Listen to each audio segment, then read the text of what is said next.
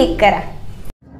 Hello आवाज येतो ना सर हा एक मिनटं साहेब बोलतात. एक मिनटं एक मिनटं. कोण तो भा आहे अँथोनी अँथोनी क्लिनर हॅलो अरे ते दळवीला घेतला नाही त्याने अजून अँथोनीने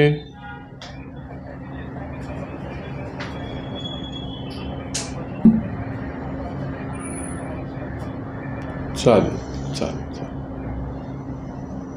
मी जातो पाहिजे सांगितलं मग त्याला घेऊन माझ्याकडे हे करा. मी जातो पाहिजे हितेश भाई अरे अभी हुक्का पार्लर जो है वो कौन सा कौन सा चालू है ये है ज़रा खबर खबरबार निकाल के आ जाओ मेरे पास चार हाँ हाँ। आपके इधर क्या? उधर वाले घर में।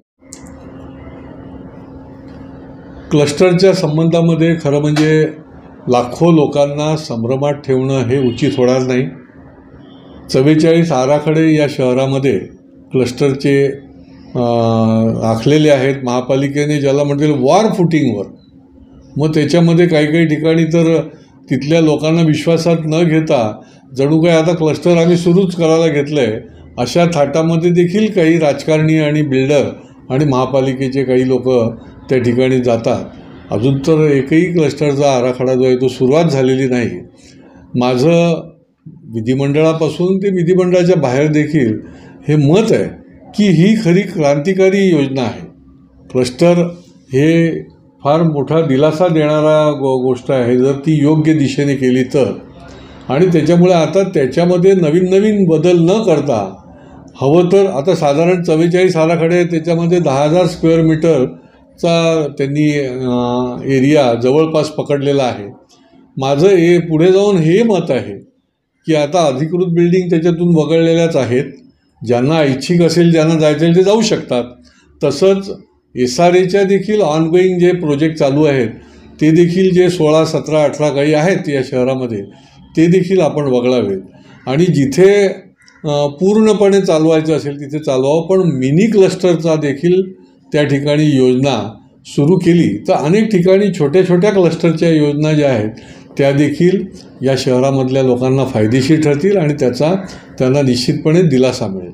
सर क्लस्टर आणि एस आर एच्या नावाने काही प्रायव्हेट बिल्डरला तिथे दिलेले आहेत त्या. ते बिल्डर ते जमीन म्हणजे तिथल्या रहिवाशांना बाहेर काढून जमीन सपाट करतात पण नंतर त्या रहिवाशांना भाडं किंवा काही मिळत नाही किंवा त्यांच्या त्यांच्याशी काहीच संपर्क होत नाही नंतर मग त्या बिल्डरचा मी अं, अधिकाऱ्यांना कॅपेबल नसताना त्या बिल्डरला ते देणं कितपत योग्य? नाही केपेबलच्या पेक्षा मी अधिकाऱ्यांना अं, सांगितलं आहे आणि शासनाला देखील मी सांगितलं आहे की अशी जी थकबाकी आहे की ज्यांना भाडीच मिळालेली नाहीत नुसतीच जागा खाली केलेली आहे आणि बिल्डर नुसतंच हातावर हात ठेवून बसलेला आहे किंवा ज्यांची आता त्या मार्गावर आहे तर याचा एक मोठा मोठा ड्राईव्ह निर काढायला लागेल. कारण की आज हजारो लोक दहा दहा महिने भाडी नाहीत पाच पाच महिने भाडी नाहीत. भाड्यामध्ये वाढ कबूल केलेली आहे पण ती वाढ झालेली नाही. निरनिराळी कारणं बिल्डरकडनं. तर अशी ज्या ज्या ठिकाणी अडचणीत आणि फसवणूक अं, होताना दिसते तर त्याचा एक ड्राईव्ह करावा. या शहरामध्ये जे एस आर एचे प्रोजेक्ट अशा पद्धतीचे आहेत. तर त्याच्या संबंधीमध्ये ठोस अशा प्रकारचा निर्णय घेतला गेला पाहिजे.